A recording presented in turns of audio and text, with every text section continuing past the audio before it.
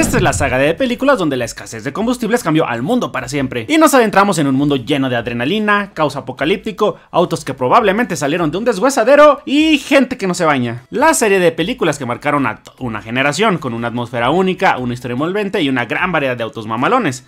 Y sí, estamos hablando de Mad Max, por lo que aquí en Karin te traemos más de 25 datos que tal vez no sabías de la saga de Mad Max. Así que asegúrate de tener la trocalista gato adicto, porque ya comenzamos. Hoy en día se clasifica a Mad Max y especialmente a la primera como una película de culto. Pues dicha afirmación, y aunque se puede escuchar un poco exagerado, lo cierto es que la saca marcó a toda una generación, aunque probablemente no sea la tuya. Y por si no lo sabías, Mad Max cuenta con 5 películas. Entre ellas nos podemos encontrar con Mad Max Salvajes en la Autopista, Mad Max, Mad Max 2 El Guerrero de la Carretera, Mad Max 3 Más allá de la cúpula del trueno, Mad Max Beyond Thunderdome, Mad Max del 2015 Furia en la carretera y más reciente Furiosa de la saga de Mad Max.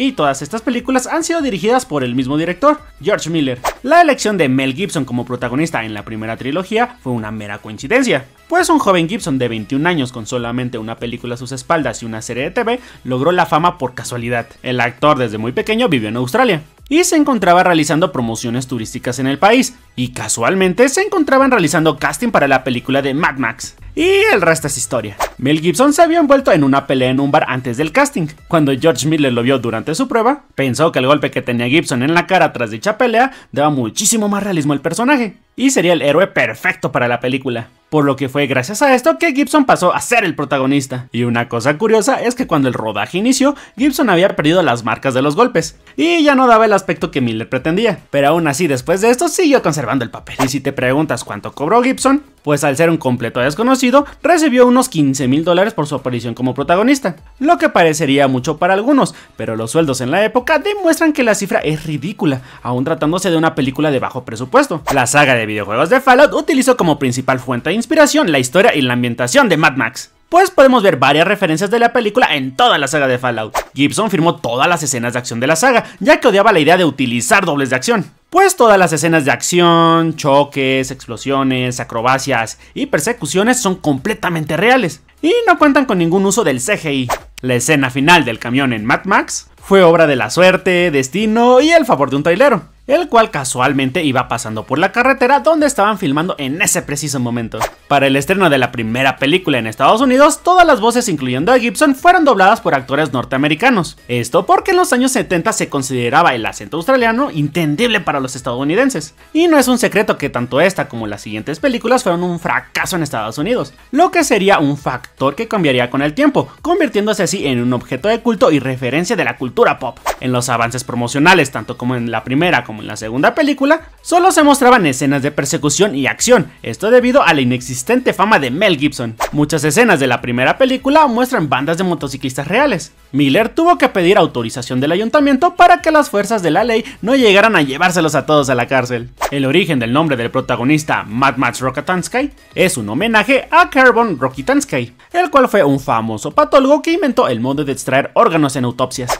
Los autos que se destruyeron en la primera parte eran autos usados de la policía que se reutilizaban una y otra vez para todas las tomas solo que los tenían que pintar y despintar en varias ocasiones para que parecieran distintos, pues el bajo presupuesto también permitió que los trajes de cuero de Gibson y de otros personajes fueran reales, y los demás solamente fueran una especie de vinilo negro. Al principio de Mad Max de 1979, algunos de los diálogos de los personajes de los Night Riders son provenientes de la canción Rocker de ACDC. Miller no quería filmar la tercera parte, pero un compañero director, Mel Gibson, y la muerte del productor de las dos primeras películas en un accidente de helicóptero, lo persuadieron lo suficiente como para finalmente hacerla. Miller aceptó que la máscara del Humungus, espera, Among Us, hmm, era una referencia u homenaje a Jason en la primera película de Viernes 13, pues esta apenas había estrenado un año antes en 1980, y como podemos ver son prácticamente similares, o bien ambas se basaron en la máscara de hockey. En la preproducción todos sabían que el villano de la tercera parte tenía que ser una mujer,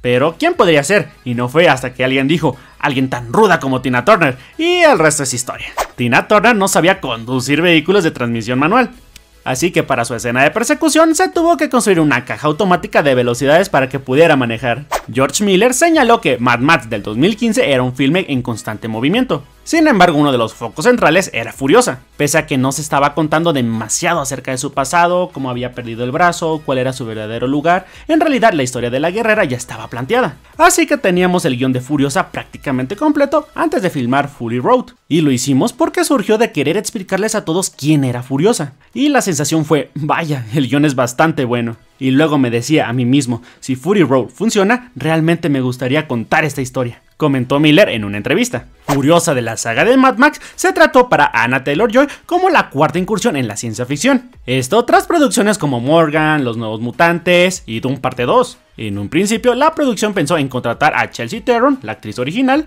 y utilizar algún tipo de CGI anti-envejecimiento. Esto para poder interpretar la versión joven del personaje. Sin embargo, George Miller quedó hipnotizado con la actuación de Anna Taylor-Joy en la película de Last Night in Soho. Miller descartó la idea de contratar a Chelsea Theron porque el uso del CGI excesivo podría arruinar la película. La película se grabó en un pueblo fantasma de Australia. La película tuvo un costo de 168 millones de dólares y se filmó en un pueblo de Sibelstone, Australia, un lugar considerado como un pueblo fantasma. Y Furiosa se ha convertido en la película más cara que se ha rodado en Australia. Hay una escena de acción dentro de la película la cual tiene una duración de tan solo 15 minutos, pero lo que es realmente increíble es que se tardaron alrededor de 78 días en rodarla completa, además de que fueron necesarias más de 200 personas para poder completarla, y aún así con tanto personal lograron completarla lo más rápido posible. Aunque Furiosa se estrenó en el año 2024, la película ya estaba escrita mucho antes del año 2015. George Miller pretendía incluir la historia de Furiosa en Mad Max Fury Road,